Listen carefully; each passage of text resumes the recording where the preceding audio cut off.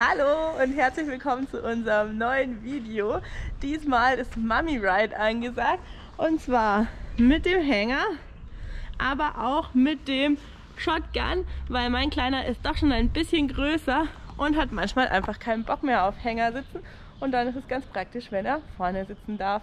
Aber jetzt geht es erstmal auf den Radweg. Bereit? Yes! Hui!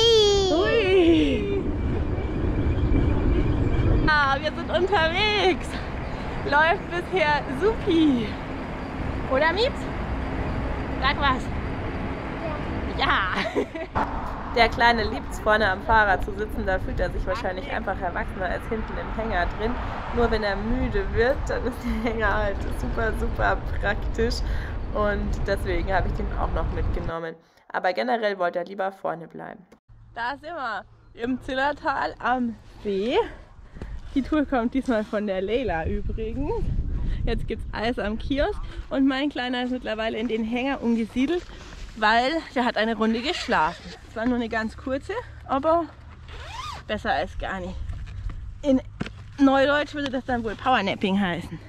Hast du geschlafen, Spalt? Ja. Bissi? Ja. War gut? Ja. Oh, ist noch müde. Da drüben hat man gar nichts gehört. Ist jetzt aber auch wieder erwacht. Schaut ein bisschen aus wie ein Eskimo.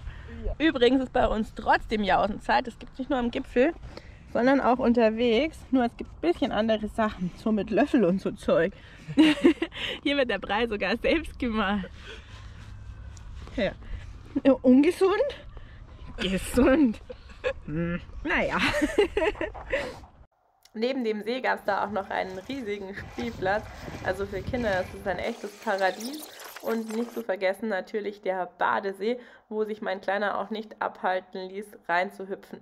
Ich habe zwar nicht gefilmt, wo er richtig drin war, aber er war auch ganz drin. Ja, Wasser. Hallo Wasser. Bei der Rückfahrt hatten wir echt mit krassen Gegenwind zu kämpfen. Aber gut, ich meine, wir waren mit den E-Bikes unterwegs, von dem her war es ziemlich egal.